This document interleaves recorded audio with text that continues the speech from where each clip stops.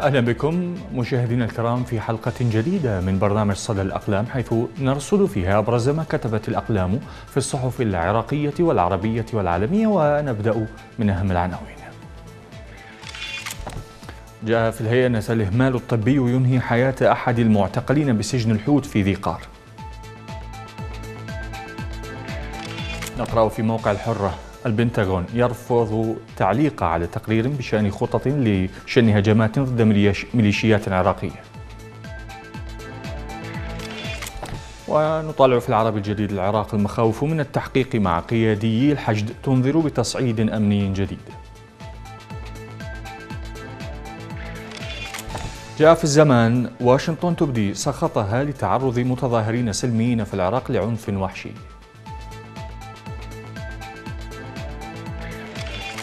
ونقرأ في الخليج الإماراتي وفد مصري يبحث في غزة لبحث تثبيت التهدئة وإعادة الإعمار. نتصفح في القدس العربي اليمن. غريفيث يناقش خطة سلام مع ممثلي الحوثيين في مسقط.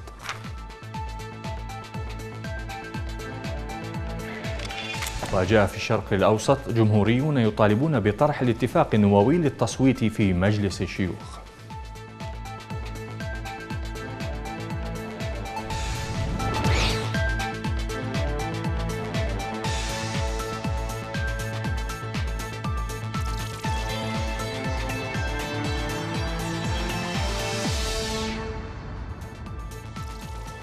أهلا بكم. قال موقع ديلي كولر الأمريكي إن البنتاغون يخطط للحصول على موافقة الرئيس جو بايدن على توجيه ضربات ضد الميليشيات المدعومة من إيران في العراق ونقل الموقع ونقل الموقع بالأحرى عن مصدرين مطلعين على الوضع. قولهم إن إدارة بايدن تبحث بجدية في مجموعة واسعة من الردود على هجمات الميليشيات الموالية لإيران ضد الأمريكيين في العراق. المصدر أشار إلى أن السلطات الأمريكية كانت في مكانها منذ الضربة التي استهدفت الجنرال قاسم سليماني القائد السابق لفيلق القدس الإيراني. لكنها تتطلب إذنا فرديا لكل ضربة بناء على توجيهات الرئيس. وستتم مناقشة خطة العمليات والخيارات المختلفة مع البيت الأبيض من خلال مجلس الأمن القومي بحسب مصدر ثان مطلع على الأمر. وقال المصدر إن المسؤولين سيطلبون موافقة بايدن على أوامر الإضراب في وقت قريب لكن لا يمكنهم تحديد إطار زمني محدد. واقترح المصدر الأول المطلع على الوضع أن الاجتماع سيعقد يوم الجمعة على الرغم من أنه لم يؤكد ذلك بشكل مستقل. وبحسب الموقع فإنه ليس من الواضح ما إذا كان بايدن سيوافق على اقتراح البنتاغون. وأشار الرئيس إلى دعمه لتدفئة العلاقات مع النظام المارق معربا عن اهتمامه بإعادة الانضمام إلى الاتفاق النووي الإيراني. وتمثل هذه الجهود تحديا صعبا لرئيس قتل سلفه. ولفت الموقع إلى أن الولايات المتحدة تتهم فصائل مسلحة مدعومة من إيران بشأن هجمات صاروخية بصورة منتظمة على قواتها في العراق. آخر هذه الهجمات وقع الاثنين الماضي واستهدف قاعدة عين الأسد الجوية العراقية التي تستضيف قوات أمريكية ودولية أخرى لكنه لم يسفر عن وقوع أي إصابات. طبعا الموقع أشار إلى أن الضربات الجوية التي نفذتها القوات الأمريكية في شباط الماضي على منشئات عند نقطة مراقبة حدودية في سوريا تستخدمها ميليشيات مسلحة مدعومة من إيران تحديدا بينها كتائب حزب الله وكتائب سيد الشهداء هي الضربات الوحيدة التي نفذت في عهد بايدن.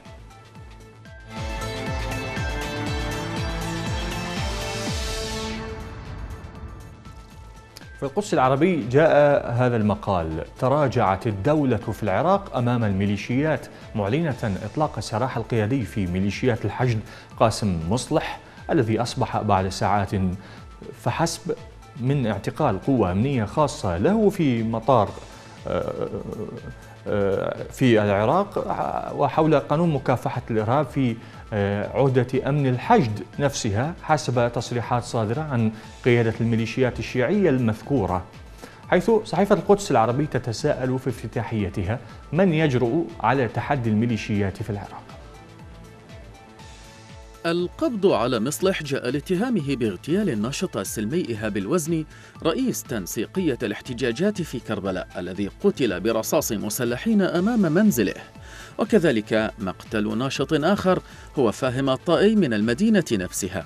ومعلوم أن الوزني كان ينبه على مدى سنوات من هيمنة الفصائل المسلحة الموالية لإيران. ويمثل اغتياله ضمن هذا السياق تأكيدا على ارتباط النفوذ الإيراني في العراق مع نفوذ الميليشيات الموالية وهو ما يجعل التعرض لأي من الجهتين فعلا محظورا تسهر على تنفيذه على ما تكشف الوقائع قوة أكبر من الدولة العراقية نفسها. بهذا المعنى لا تكتفي طهران بالسيطرة الكبيرة التي تمتلكها على مقدرات الدولة نفسها، سواء ضمن أجهزة الدولة الأمنية والعسكرية وضمن الطيف الواسع من السياسيين من قادة ومسؤولي الأحزاب ونواب البرلمان، بل تعزز هذه السيطرة عبر الميليشيات المسلحة المتعددة الأشكال والأسماء والاختصاصات والوظائف. الهدف من هذه الثنائية هو منع تشكل دولة عراقية فاعلة يمكن أن تتصرف مع طهران بصيغة الند أو الحليف الشريك لا التابع والمنفذ للأوامر فحسب وخلق مجالات تنافس وصراع بين الدولة والفصائل المسلحة من جهة وتوظيف تلك الفصائل في أغراض تخدم الاستراتيجية الإيرانية العالمية والإقليمية. الصحيفة ترى أن حكومة المالكي لا تستطيع ضمن شبكة السيطرة الإيرانية العسكرية والأمنية والسياسية المعقدة أن تتحقق كسلطة قادرة على ضبط النظام والقانون وامتلاك شرعية حقيقية. فهي غير قادرة على تحريك الجيش وقوات الأمن ضد أشكال العصيان والتمرد المتنوعة. على شاكلة ما حصل في قضية القيادي في ميليشيات الحشد قاسم مصلح.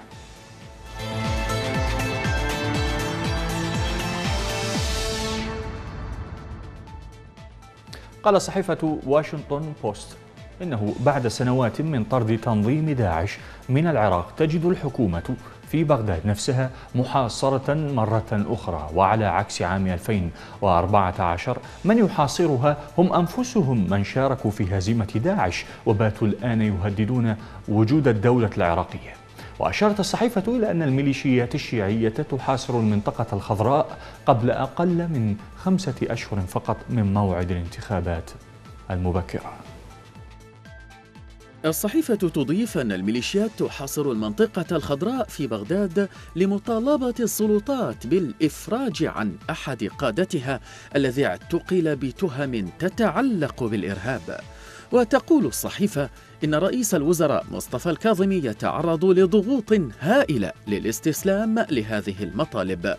وترى الصحيفة في ذلك مؤشرا واضحا على أن العراق محتجز كرهينة من قبل شبكة ميليشيات شيعية عابرة للحدود الوطنية تقودها وتسيطر عليها إيران.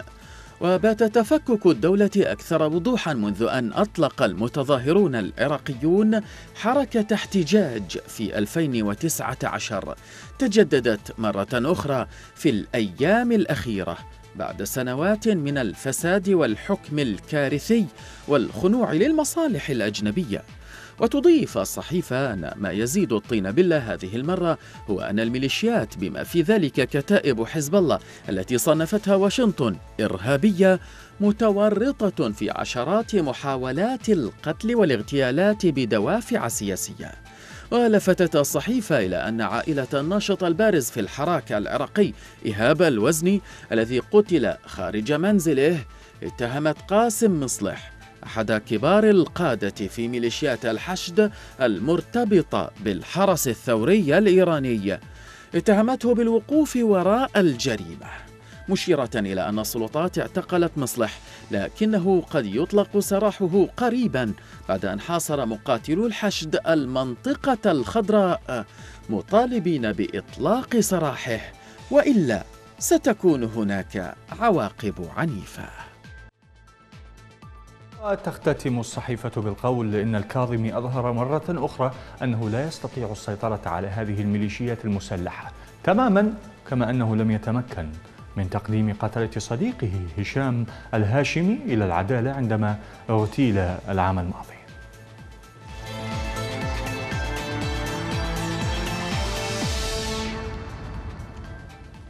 هناك فارق كبير بين الانتخابات الرئاسية في سوريا وتلك التي ستجري في إيران الشهر المقبل. ففي إيران مثلا فرض المرشد علي خامنئي مرشحه إبراهيم رئيسي المعروف بتشدده ليكون خليفة حسن روحاني. فهناك في إيران محاولة لإنقاذ النظام من داخل النظام نفسه. هل هذا ممكن؟ ربما. خير الله خير الله يقول في صحيفة العرب اللندنية أن هذا السؤال سيطرح نفسه بحدة في المستقبل القريب في ظل رهان إيراني على أن الإدارة الأمريكية مصرة كل الإصرار على العودة إلى الاتفاق النووي. سيكون الرهان الإيراني رهان المرشد أولا على جني ثمار العودة إلى الاتفاق النووي مع الولايات المتحدة. يظل رهان المرشد في أساسه على رفع العقوبات الأمريكية. إضافة إلى ذلك عبر التمهيد لتولي إبراهيم رئيسي وهو رجل المرشد رئاسة الجمهورية. تجري محاولة لإدخال تعديلات جذرية على طبيعة النظام من أجل إنقاذه. ما خطط له خامنئي يندرج في سياق واضح يصب في تمكين نجل المرشد ويدعى مجتبى من خلال والده.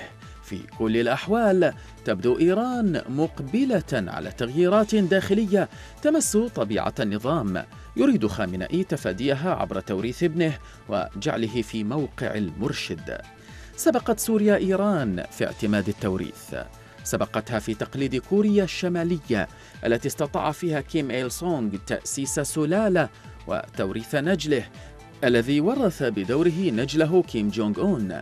لا يزال خامنئي يحاول توريث نجله. استطاع النظام الكوري بلوغ الجيل الثالث من عائلة كيم. استطاع النظام السوري بلوغ الجيل الثاني في السنة 2000 نراه حاليا في طريق سعي بشار إلى توريث نجله حافظ في يوم من الأيام. مهد لذلك؟ بالقضاء على الطموحات السياسية لآل مخلوف الذين كانوا شركاء في السلطة. في ظل صعود نجم أسماء الأسد. الكاتب يرى أن الفارق الأكبر بين إيران وسوريا يبقى أن إيران لا تزال موجودة ولدى علي خامنئي ما يورثه ويورثه لنجله. في المقابل لم يعد يوجد بلد اسمه سوريا كي يتمكن بشار من توريثه لنجله حافظ إلا إذا أورثه ركاما.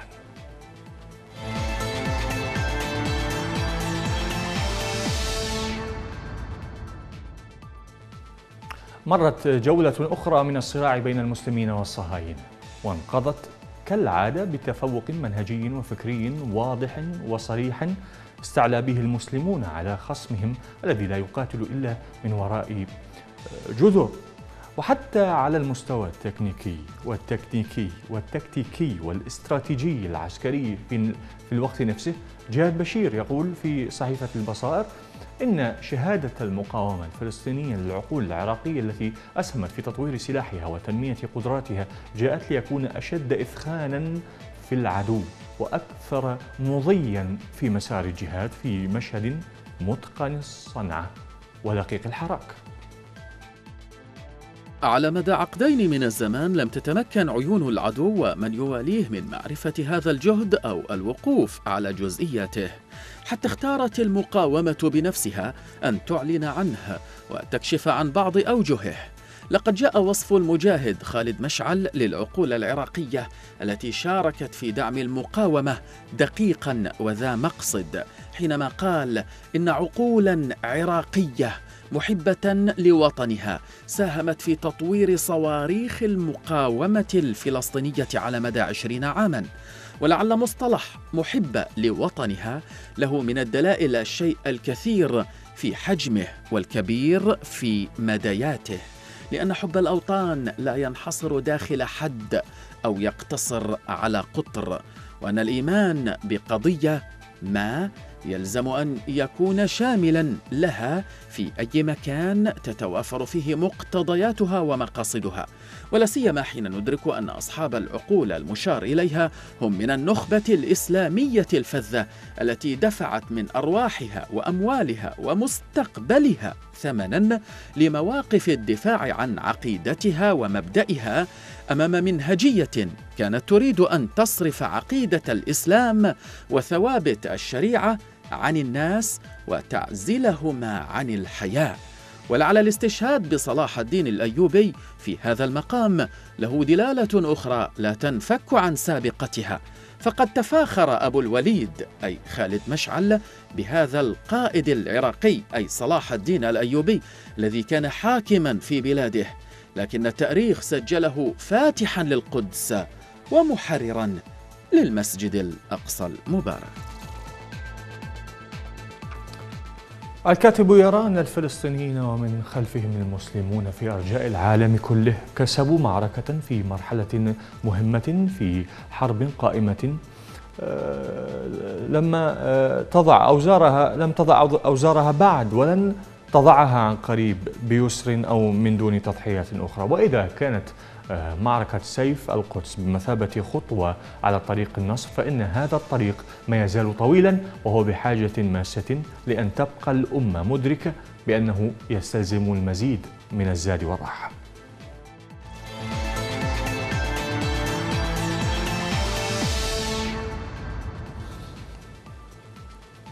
نشرت مجلة فورين بوليسي الأمريكية مقالا للكاتب ستيفان والت عن دواعي إنهاء واشنطن للعلاقة الخاصة التي تجمعها مع الاحتلال الإسرائيلي. وقال الكاتب إن الجولة الأخيرة من القتال بين الإسرائيليين والفلسطينيين قدمت المزيد من الأدلة على أن الولايات المتحدة يجب أن توقف من الآن الدعم الاقتصادي والعسكري والدبلوماسي غير المشروط للاحتلال في ظل انعدام الفوائد السياسية مقابل التكاليف المرتفعة. الكاتب أوضح أن عقودا من السيطرة الإسرائيلية الوحشية قد قضت على الحجة الأخلاقية للدعم الأمريكي غير المشروط. لقد وسعت الحكومات الإسرائيلية المستوطنات وحرمت الفلسطينيين من حقوقهم السياسية المشروعة وعاملتهم كمواطنين من الدرجة الثانية داخل دولة الاحتلال. بالنظر إلى كل هذا ليس من المستغرب أن تصدر منظمة هيومن رايتس ووتش ومنظمة حقوق الإنسان الإسرائيلية بتسليم مؤخرا تقارير مقنعة تصف هذه السياسات المختلفة على أنها نظام فصل عنصري. وأشار الكاتب إلى أن الدعم غير المشروط للاحتلال اليوم يخلق مشاكل لواشنطن أكثر مما يقدمه من حلول. فلم تفعل إسرائيل شيئا لمساعدة الولايات المتحدة في حربيها ضد العراق بينما كان على الولايات المتحدة إرسال صواريخ باتريوت إلى إسرائيل خلال حرب الخليج الأولى لحمايتها من هجمات سكودا العراقية.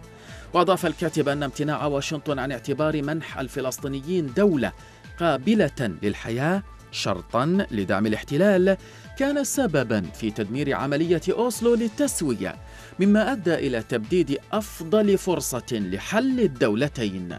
ولكن وجود علاقة حيث يكون دعم الولايات المتحدة مشروطا سيجبر الإسرائيليين على إعادة النظر في مسارهم الحالي. وبذل المزيد من الجهد لتحقيق سلام حقيقي ودائم.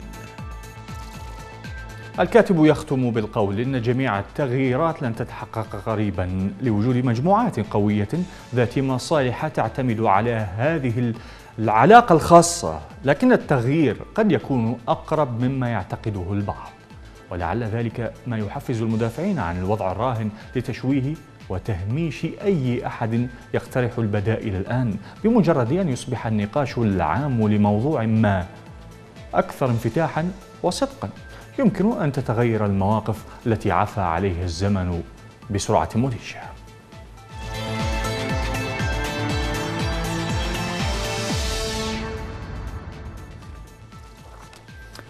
وفي خبر بعيدا عن السياسة يقدم مقهى محلي في العاصمة العراقية بغداد مشروب القهوة مجانا لعملائه الذين حصلوا على التطعيم المضاد لفيروس كورونا في مسعى منه لنشر الوعي بأهمية الحصول على اللقاح في ظل تزايد الإصابات.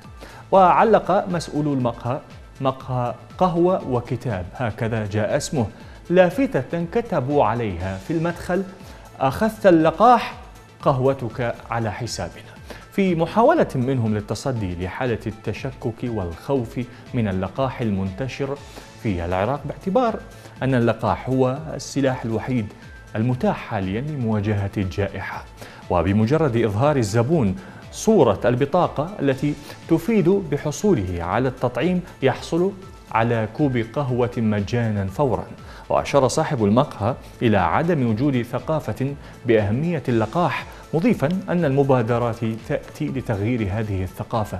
وطالب صاحب المقهى الحكومة بتبني هذه المبادرة التي بدأها بمفرده ظنا أن المطاعم والمقاهي ستنضم هي الأخرى له حتى تعود الحياة كما كانت.